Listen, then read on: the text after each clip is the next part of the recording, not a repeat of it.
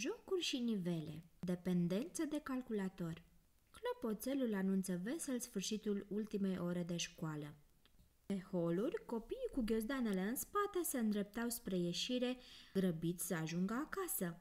Alina își făcea loc printre aceștia pentru a ieși cât mai repede și nu-i păsa că în graba ei îi împingea pe unii copii. Se gândea doar la cât mai multe strategii pentru a depăși nivelul jocului pe calculator, la care a rămas ieri.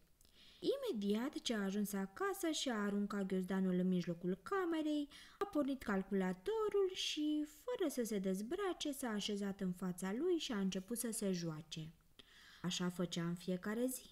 Uneori se oprea doar seara, uitând că mai are și teme, ea fiind în clasa a doua la școală. Alina, ți-ai făcut temele? Ai învățat pentru mâine?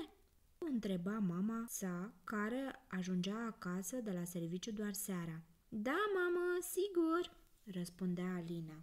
Mama o credea și nu o mai verifica deoarece avea încredere că spunea adevărul. A avut însă parte de o surpriză când a mers la ședința cu părinții, unde a aflat că rezultatele ei la școală sunt tot mai slabe.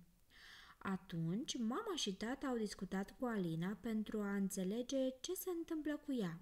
Abia atunci a recunoscut Alina că petrecea foarte mult timp la calculator. Mama a încercat să-i reducă timpul de sta la calculator, dar nu prea reușea, fiind plecată la muncă până seara.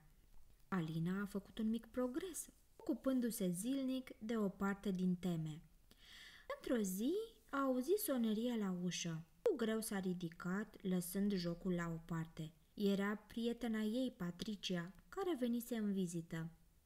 Am adus ceva să facem împreună. Hai să-ți arăt, zise Patricia.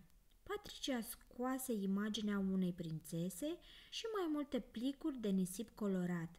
Trebuie să dăm jos autocolante și să lipim nisip de culoarea acestora, descrise Patricia indicațiile. Fetele au început să lucreze, iar Alina era fascinată de ceea ce le-a ieșit.